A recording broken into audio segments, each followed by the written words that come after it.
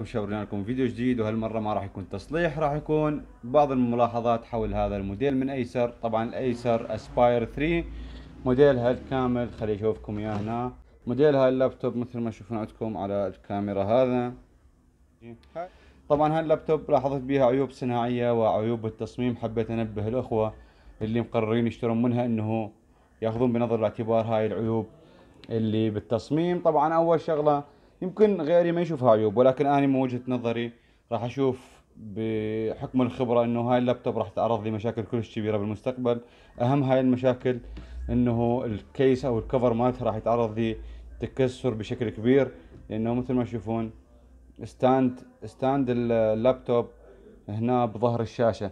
يعني بمجرد فتح اللابتوب بهذا الشكل الشاشة راح ترفع ال cover من مكانه. يعني اللابتوب مستندة بهذا الشكل خلي أشوفكم. اللابتوب تستند على الشاشة يعني ال cover يقعد على ال stand هنا. يعني الشاشة ترفع ال cover. فهاي بالحركة راح يكون حمل إضافي على النرمادات أو القلابات أو ال يسموها المفصلات. فراح تعرض لمشاكل كلش كبيرة خاصة حاليا الجديدة حاليا بما إنه الجديدة ما راح يصير ضغط قوي على النرمادات أو على القلابات ولكن بالمستقبل بعد ما تبدي تثقل حركة القلابات أو المفصلات. مع هذا الضغط اللي جاي يسبب الشاشة بهاي الحركة اللي تشوفوها. طبعا راح يصير ضغط كلش كبير على القلابات وراح تتكسر وراح يطلع بها عيوب آه، كبيرة كلش. هاي الملاحظة الأولى. الملاحظة الثانية أهم بكثير من الملاحظة الأولى. شنو هي الملاحظة؟ الملاحظة أنا أعتقد هذا الموديل راح يصير به مشكلتين إضافيتين. المشكلة الأولى مشكلة حرارة. شلون سيف؟ راح أقول لك. شوف نظام التبريد مالتها إذا تشوفوا على الضوء طبعا نظام نحاسي أو مشتت الحرارة أو ال heat sink مالته نحاسي ممتاز بشكل يعني ممتاز عاملينه وكبير ضخم و fan هم حلوة. ولكن هذا الموديل الشغلة المو حلوة اللي بيه شنو؟ إنه اولا ال fan ال fan وين تنفخ؟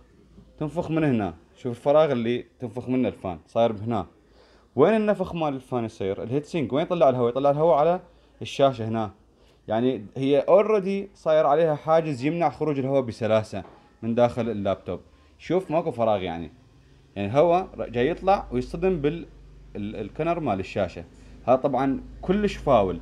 إيش راح يسبب هذا الشيء بالمستقبل بعد أن تتكوم الأتربة بداخل ال heat sink راح يصير عنده مشاكل حرارة جدا كبيرة المستخدم اللي يستخدم هذا الموديل.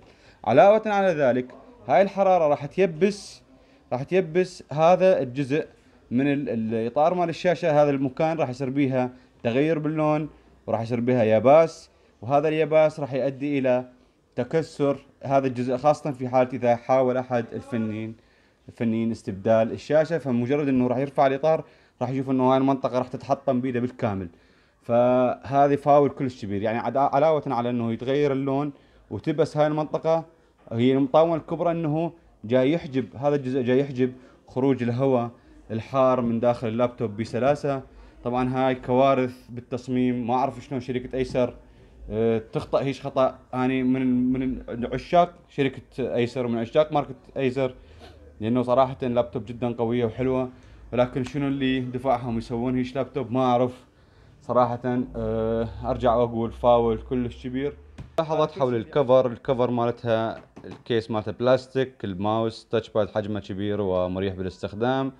ال keyboard مالتها سلس جدا ومثل ما تشوفون بدون صوت تقدر تضغط على الأزرار. هنا عندك المنفذ مال USB ومنفذ الصوت إضافة إلى الأضوية الخاصة ب LED التشغيل و LED الشحن.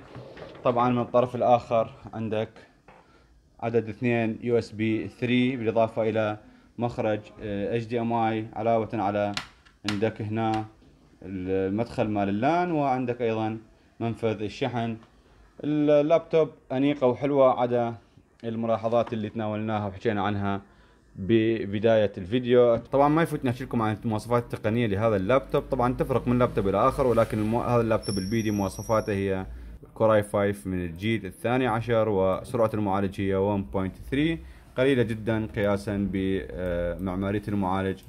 ال RAM 8 جيجا كارت الشاشة مثل ما راح أشوفكم هسه.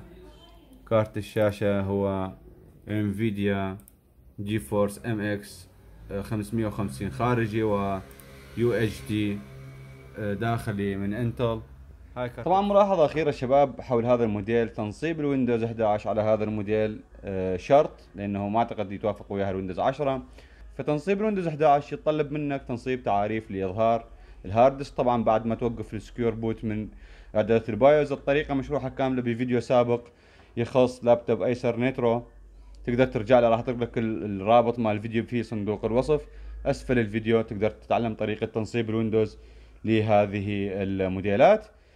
أه بس هذا كل شيء اللي عندي في فيديو اليوم. أتمنى يكون الفيديو عجبكم إذا عجبكم الفيديو لا تنسونا بالإعجاب بالفيديو. والاشتراك بالقناة وتفعيل زر الجرس حتى يوصلكم كل جديد. كان وياكم سيف قدامي من قناة قداوتك في أمان الله شباب.